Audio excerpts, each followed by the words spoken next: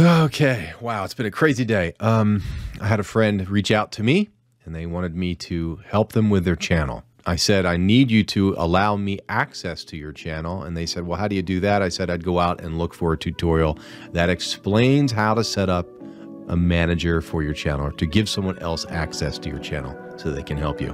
And I looked around, I couldn't find anything. So here we are, I'm making a video once again. So upon logging into your channel, click your channel icon in the upper right hand corner and select YouTube Studio. We want to go into settings, but you don't want to select the settings in this men menu initially. You need to go first into the YouTube Studio and then on the left, select settings. Okay, upon doing that, you want to select permissions and here we go. Click the invite button in the upper right hand corner and you need to submit the email address of the channel manager that you're going to give access to.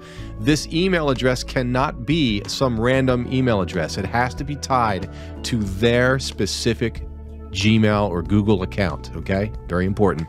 Now let's talk about the access levels. If you select manager, this person will have the ability to add other people to gain access to your channel.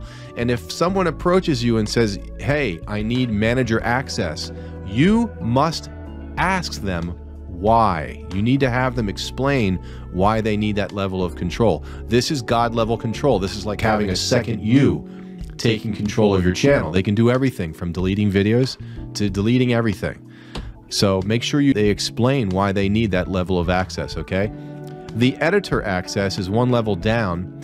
They can go live, they can create and edit content, content, but they cannot add new people to your channel. So in most cases, the editor selection would be the best. Editor limited only means that they can't look at your revenue analytics, okay? That's the only difference between the two.